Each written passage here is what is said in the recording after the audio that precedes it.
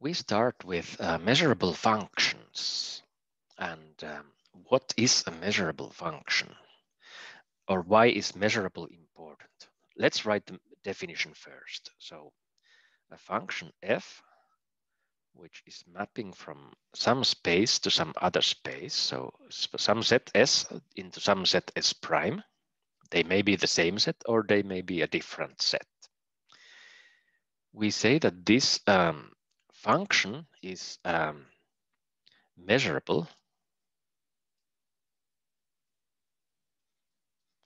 in Finnish, mitallinen. And more precisely, we say that it's measurable with respect to sigma algebras S and S prime. So we might write it this way if we want to be precise. And the condition is if the pre-image by f of every set here, B,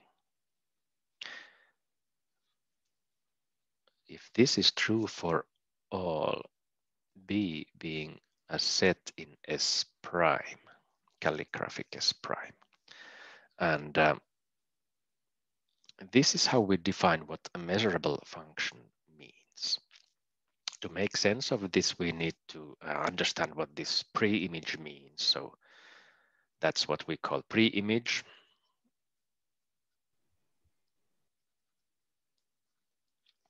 And how does the pre-image look? So if we sketch a function and assume that here we have a set S and here we have a set S prime, and here we have some set uh, B in the target space, and then we ask, okay, what's the pre-image F minus one B?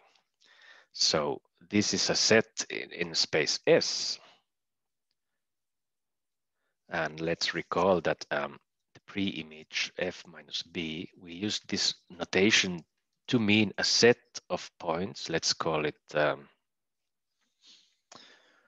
let's call it, um, let's not use x, but let's use s, little s. So the set of points such that uh, f maps that point into set b. This is the definition of measurability. Why is this so important? Because we remember maybe a little bit from last week that um, measurable sets, so let's clarify. Let's recall what is a measurable set. So they are um, members of sigma algebra. So these are sigma algebras. And these sigma algebras are those structures, the collection of sets where we can assign probabilities and measures. So when we start to work, we know now that these uh, sigma algebras play well because they are stable under complement and um, finite union and countably infinite union. So they are, and then they are also um, stable under finite and countable, uh, countably infinite intersection. So they are stable kind of under the rules that we commonly use for logic. The set structures behave well when they are sigma algebras, but then we, when we start to work with random variables, we have uh, going to play with functions which map this there and that there and so on. So for such mappings, we need to be sure that um, the measurable sets, the elements of the sigma algebra, they will uh, remember members of sigma algebra. And um, maybe the one strange thing is that um, we are not going to look mapping sets forward with functions. So we could think, okay, what's the image of a measurable set by a function?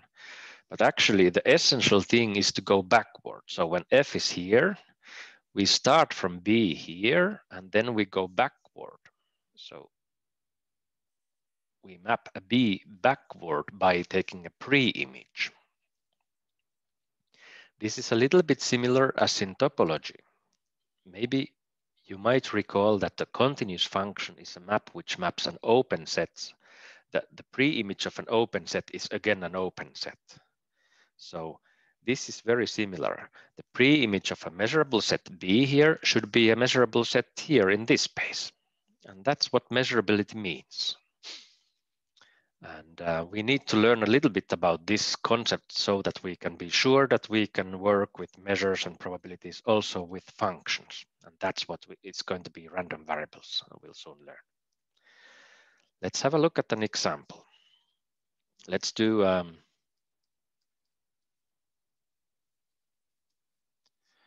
one example here. Assume that um, now let's take uh, as the um, sigma algebra on starting space. Let's take the power set.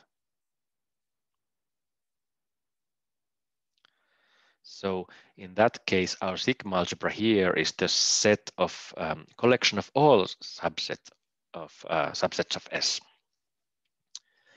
Then, um, then what happens? Well, then actually every function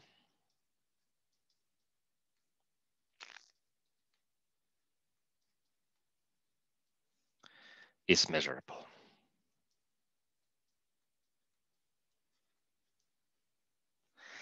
And now note that um, instead of writing uh, S and S prime, I actually um, ignore this. So that's what we usually do. So we usually don't, let me just put the crosses. We usually don't write this when we are sure from the context uh, what sigma algebras we mean. And usually we are sure of the context. So when the context makes it clear, we deal with only one sigma algebra. We just, just say that the function is measurable. Okay. So the first example here, what does it say? If we take the power set, let's recall this is the power set. If we take the power set to be the sigma algebra here, so let's look at the pre-image of some set. Pick your favorite set B here, and let's look at the pre-image. So it is some set there. Well, then because any set is a member of the power set, we know that this pre-image um, belongs to calligraphic S. And that's why um, this is a trivial example if we could always work with power sets, so everything would be measurable, and that would be it. Let's do another very simple example. Usually we don't work with power sets, but something else. Let's look at um, another very simple example. Assume that uh, we have a function which is um, a constant. So let's assume that f uh, of s is equal to c for all S. Then, um, then what? So f is a constant function.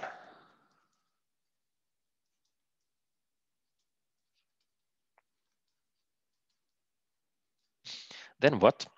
Then um, what can we say about the pre-images of a constant function? Let's look. So let's look at the pre-image for some set B. What can we say about B? What is this pre-image? Can we calculate it in some simple form? Let's look. So it's the set of points S for which the f of S belongs to B. In this case, it's the set of S such that the constant is in B. So um, what is this set actually? It's a collection of points such that the constant is in B. So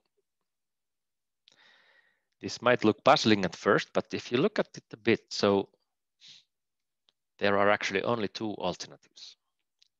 Either this condition is true if C is a member of B, then, so we, we assume that, okay, we have a point C here in this space.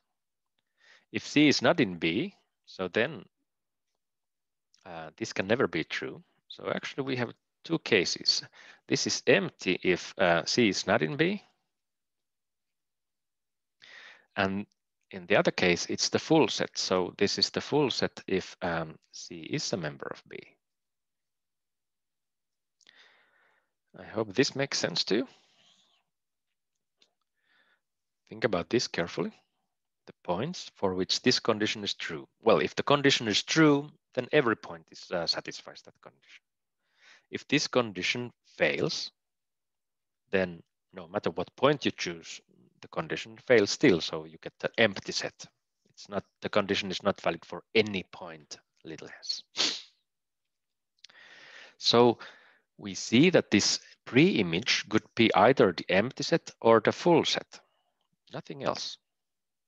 On the other hand, we know that the empty set and the full set, they are members.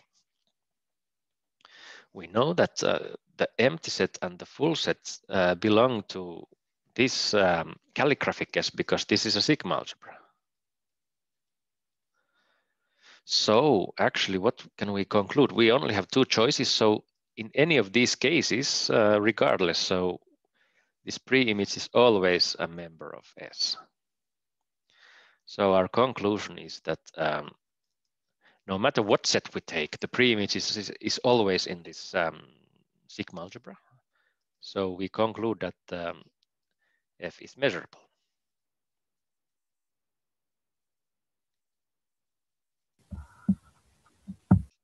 Okay, are there questions? Maybe if you like to ask. We kind of made two rather trivial conclusions. We found that uh, if we take the power set, then all functions are measurable. The other example, if we look at the constant function, so constant function is always measurable, no matter what sigma algebras we are looking